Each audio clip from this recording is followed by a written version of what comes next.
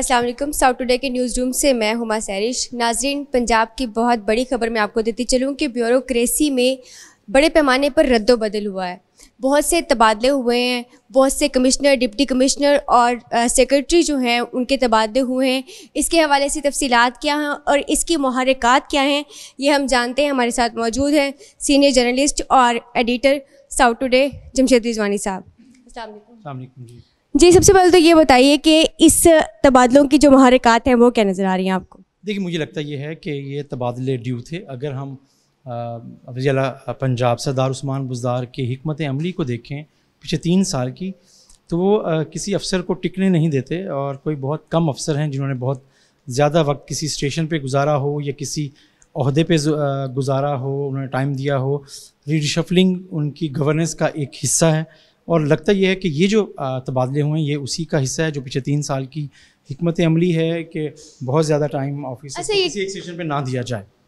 ए, किस किस इलाके में अब तबादले हुए देखिए ओवरऑल अगर हम देखें तो चार सौ बाईस सेक्रेटरीज़ हैं जो तब्दील हुए हैं। दो कमिश्नर्स तब्दील हुए हैं और इसके साथ साथ छः डिप्टी कमिश्नर्स का ट्रांसफ़र हुआ है। जो दो कमिश्नर्स तब्दील हुए हैं उनका ताल्लुक साउथ पंजाब से मुल्तान के कमिश्नर जवेद अख्तर महमूद को तब्दील किया गया है। डेर गाज़ी खान के कमिश्नर इरशाद अहमद को तब्दील किया गया है। ये और बात है कि इरशाद अहमद अब डेरा गाज़ी खान की जगह की बजाय अब मुल्तान के कमिश्नर हो गए हैं। जवेद अख्तर महमूद जो हैं, वो S N G A D को रिपोर्ट करेंगे नई तकर्री के लिए। तो वो उधर जा रहे हैं। तो जो छः डिप्टी कमिश्नर्स हैं, उनमें से एक जो हैं, मुल्तान के डिप्टी कमिश्नर अली शहजाद भी हैं और उन्हें मुल्तान से फैसलाबाद भेज दिया गया लेकिन बतौर डिप्टी कमिश्नर और इसके अलावा मुदसर रियाज मलिक लाहौर के अहम जो ज़िला है, सब पंजाब का सूबाई दारकूमत है, उसके डिप्टी कमिश्नर रहे हैं और मुल्तान में भी डिप्टी कमिश्नर रहे हैं। वो भी तब्दील हुए हैं, वो भी अब नई तकर्री के मंतज़र हैं कि उन्हें कहाँ भेजा जाता है। अहम बात यह है कि मियाँ वाली के डिप्टी कमिश्नर को अब लाहौर का डिप्टी कमिश्नर लगा दिया गया है। छोटा ज़िले से उन्हें डायरेक्ट सूबाई दारकूमत का है। मियाँ वाली का डिस्ट्रिक्ट वज़ी अजम इमरान ख़ान का डिस्ट्रिक्ट है, उनका हल्का इंतखब है। और अगर वो लाहौर आ रहे हैं तो इसका मतलब ये है कि इस पर यकीन वज़ी अजम इमरान ख़ान और वज़ी अला पंजाब, सरदार उस्मान बुजार दोनों की आपस में बात ज़रूर हुई होगी कि उन्हें कहाँ रखना है, कहाँ लेना है। तो ये इसके पीछे ज़ारा जो महरक़ात आपने पहला जो सवाल किया था, क्या वजह है? वजह वही तर्ज हुक्मरानी है जो सरदार उस्मान बुजार का है पंजाब हुकूमत में कि रीशफलिंग हर मुख्तर रस्सी के बाद होती रहेगी और हो रही है। अच्छा ये मुल्तान के डिप्टी कमिश्नर तो अभी रिसेंट कुछ अरसे में उनकी तैनाती हुई थी, उनका क्यों हुआ तबादला अच्छा अली शहजाद साहब, मुल्तान के डिप्टी कमिश्नर, जिनकी आप बात करें, बड़ी दिलचस्प कहानी है। आज से सवा साल पहले वो आए मुजफ्फरगढ़ में। मुजफ्फरगढ़ में वो पहली बार उनकी कोई तकर्री हुई, तैनाती हुई थी। फिर वो कुछ, उन्हें सिर्फ़ चालीस दिन गुजारे और वो रहीमिया ख़ान चले गए। रहीमिया ख़ान में भी उन्होंने छः सात माह, आठ माह काम किया और उसके बाद वो मुल्तान आ गए। मुजफ्फ़रगढ़ से रहीमिया ख़ान, अच्छी पोस्टिंग समझी गई। रहीमिया ख़ान से मुल्तान आए तो उस इंतज़ामी लिहाज से अब सूबाई सेक्रेटेरिएट के हमारे सबसे अहम शहर जो है, ज़िला है, वो मुल्तान है। तो उनकी मुल्तान में जब हुई तो उनको समझा गया कि मुल्तान से उनको एलिवेट किया गया है। मुल्तान के डिप्टी कमिश्नर के तौर पर अब वो फैसलाबाद जा रहे हैं। फैसलाबाद आबादी के लिहाज से पंजाब का दूसरा बड़ा शहर है तो मुल्तान से बड़ा सिटी है। तो ग्रेड एटीन के अली शहजाद लगता यह है कि गुड बुक में है वज़ी अला के। और उस गुड बुक की वजह से वो मुजफ्फ़रगढ़ से रहीमिया ख़ान रहीमिया ख़ान से मुल्तान मुल्तान से फैसलाबाद और लगता ही है कि इस तरीके से वो गुड बुक में रहे और परफॉर्म करते रहे तो इससे भी अहम अपॉइंटमेंट उनकी हो सकती है। अच्छा ये जो इतने सडन तबादले होते हैं या चेंजिंग आ जाती हैं तो क्या इससे इलाकों पे भी इम्पेक्ट पड़ता है? आ, मेरा ख्याल है कि परफॉर्मेंस पे फ़र्क पड़ता है।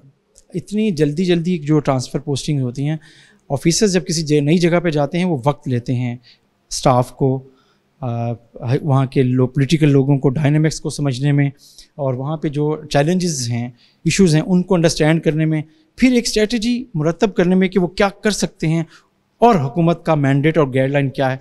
लेकिन अभी वो ये सब चीज़ें कर रहे होते हैं तो वो अगले डिस्ट्रिक्ट में या अगली ज़िम्मेदारी की तरफ़ मूव हो जाते हैं। नतीजा ये होता है कि ओवरऑल जो गवर्नेंस के हवाले से जो पंजाब गवर्नमेंट पे क्वेश्चन होते हैं, उसकी वजह ये हमत अमली भी है कि कोई अफसर टिक कर कॉन्सनट्रेशन से काम नहीं कर पा रहा और वो जब काम नहीं करता तो वो नज़र भी नहीं आएगा उस डिस्ट्रिक्ट में डिलीवर भी नहीं होगा। तो उसका इनडायरेक्ट नुकसान बहरहाल पी टी आई की हुकूमत और वज़र पंजाब सरदार उस्मान बुजदार की हुकूमत की कारकर्दगी पर उठ रहा है, उठेगा। तो ये हमत अमली बहरल वज़र सरदार उस्मान बुजदार की अपनी है। तो उसकी अच्छी और बुरे फैसलों के उन ज़िम्मेदार हैं और यकीन है कि उन्हें पता होगा कि वो क्या कर रहे हैं। अच्छा आप समझते हैं कि वजी उस्मान बुजदार जो है वो जानते हैं कि उनकी हमत अमली क्या है और वो क्या फ़ैसले कर रहे हैं? बिल्कुल जानते हैं। ये ऐसा नहीं है। ये एक लग ये रहा है कि ब्यूरोक्रेसी में जिस तरह की रीशफलिंग और सीनियर लेवल पे जो रीशफलिंग है वो ऐसे नहीं हो रही है। वो हमत अमली है कि ज़ाहिर है पी टी आई की हुकूमत पहली दफ़ा पंजाब में आई है।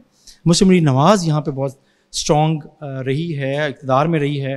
तो ज़ाहिर है बीस पच्चीस साल से उनके जो पोलिटिकल बल्कि ज़्यादा सालों से उनके जो पोलिटिकल स्टेक हैं, जो लोग इस ब्यूरोसी में रहे हैं, उनकी एफिलिएशन भी शायद हो जाती है। उनमें से कुछ की इल्ज़ाम लगा सकती है पी टी आई की हुकूमत के कुछ ऑफिसर्स की ब्यूरोसी उस तरीके से परफॉर्म नहीं कर रही, जो शायद माजी की हुकूमतों के दौर में करती रही है।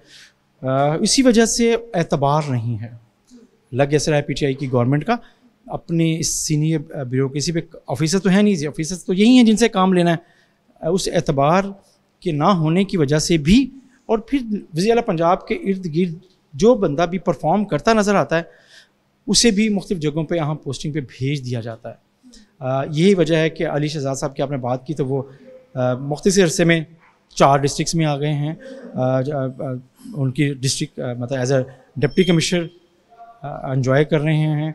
अब इसी तरीके से मुदसर रियाज मलिक मुल्तान के डीसी रहे, लाहौर गए, लाहौर से दोबारा कमिश्नर डेरा गाजी खान गए, फिर कमिश्नर डेरा गाजी खान से लाहौर जामी ज़िला ख़ुद बैठते हैं वहाँ के डिप्टी कमिश्नर रहे। तो ये चीज़ें और किसी भी ज़ाहिर जो गवर्नेंस जो चला रहे होते हैं, उनका ये हक भी होता है कि वो अपने अतमाद के अफसरों को ज़िम्मेदारियाँ दें जिन्हें वो समझते हैं वो डिलीवर कर सकते हैं। वजीला वो इस्तेकाक इस्तेमाल कर रहे हैं लेकिन लग ये रहा है कि जो रीशफलिंग की पॉलिसी है वो पी टी आई की हुकूमत की अपनी है और उसकी अच्छे बुरे नतज की ज़िम्मेदारी और वो भी ख़ुद देख रही है पी टी आई की हुकूमत। अच्छा, पी टी आई की हुकूमत जो इतनी अदम अतमादी का जो मुजाहरा कर रही हैं क्या लगता है कि ये सिचुएशन कब तक चलेगी? अच्छा उससे पहले हमने अहम बात की नहीं है। वो ये है कि मुल्तान में नया डिप्टी कमिश्नर कौन आ रहा है?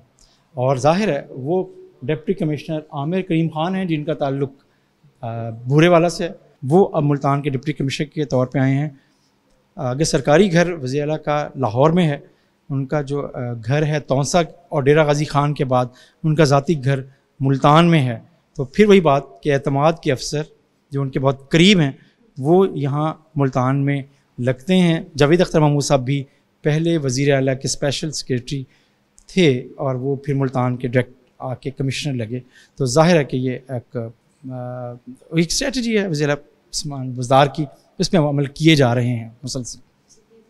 देखते हैं अब ये जो स्ट्रेटजी है, ये कब तक चलती है और ये तबादलों का सिलसिला अब दोबारा आगे बढ़ता है या इन्हीं को कंटिन्यू किया जाता है? इसी को देखते हैं और चलते हैं साथ आगे।